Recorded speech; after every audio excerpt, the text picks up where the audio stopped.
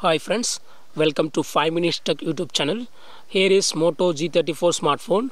In this video, you will learn how to set screen pattern, screen lock pattern in your phone Moto G34. First of all, go to the settings of your phone. Go to settings here, then go to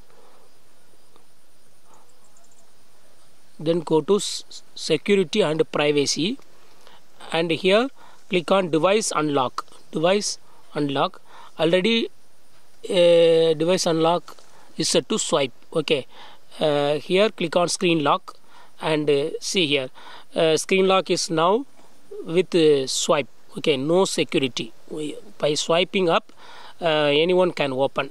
Okay. If you want to set a pattern click on pattern and draw the pattern that you want to set again draw the same pattern to verify. Click on next then draw the same pattern to verify. Click on confirm and uh, your pattern will be set.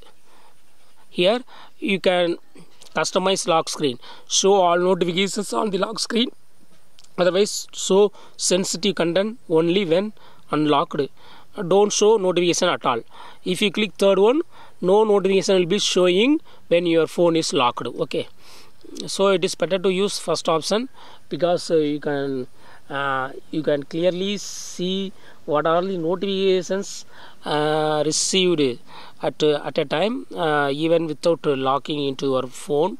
Okay. So finally click on done. Yes. Screen lock pattern is set now. Now put lock and try to open with your pattern. Yes it's working very well. In this way you can easily set screen lock pattern in your phone moto g34 that's all friends. Thanks for watching. Bye